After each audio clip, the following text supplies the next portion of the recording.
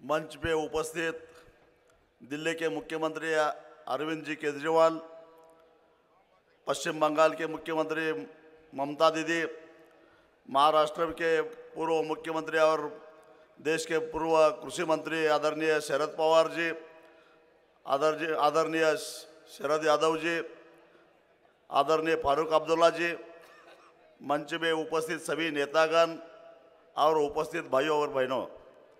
इस विशाल रैली में अरविंद जी ने जो धरना शुरू किया है, उसको समर्थन देने के लिए और किसानों की तरफ़ हम हम भी आपके साथ आए, ये संदेशा देने के लिए मैं आपके सामने खड़ा हूँ। भाइयों, इस मोदी राज में हम भी बहक गए थे 2014 में। हमें ऐसा लगा कि ये लोग हमें अच्छे दिन दिखाया, दिखलाएँगे। ये किसानों को किसानों के लिए कुछ करेंगे।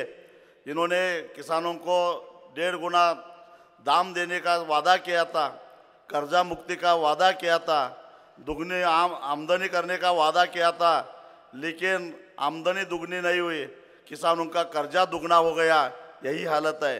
मोदी राज में आज गाय सुरक्षित है और हमारे बहनें, हमारी महिला असुरक्षित है, यह अवस्था है।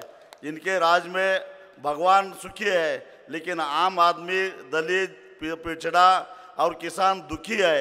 ये इनकी राज इस तरह से चल रहा है और इसके, इनके तानाशाही के खिलाफ हम लड़ रहे हैं।